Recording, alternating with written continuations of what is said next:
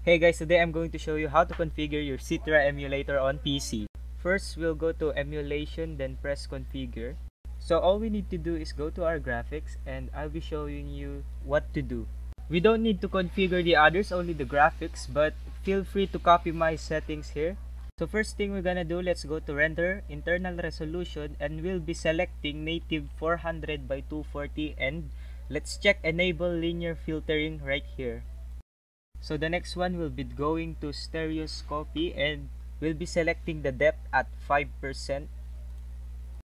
Next one is utility and we'll be checking use disk shader cache. So next we'll be going to advanced render and we'll be checking enable hardware render, enable hardware shader, enable shader JIT and at the advanced part we'll be checking enable vsync but if you have a much lower or not that powerful graphics card I suggest not checking the and I should tell you guys right now that it's a bit laggy. It's because of the recorder but if you're not recording you will get stable 30 fps so it's smooth super smooth no lag.